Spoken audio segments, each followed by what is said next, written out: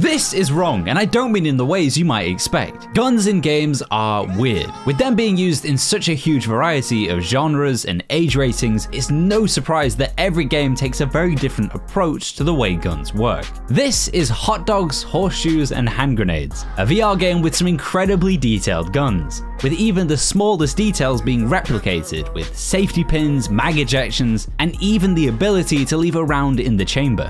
Moving back to some more traditional games, let's look at the Clean House mission from Modern Warfare. Other games do have more realistic guns, but I just love how the weapons feel in this mission. It's a mission that forces some extreme trigger discipline, and really makes the guns feel appropriately terrifying and dangerous. Could you imagine a game like Overwatch with realistic guns? It would be kind of ridiculous. Heck, imagine having to deal with your gun jamming or losing the ammo in a mag every time you reload. All of this asks a very interesting question. Do you even want realistic guns in games. After all,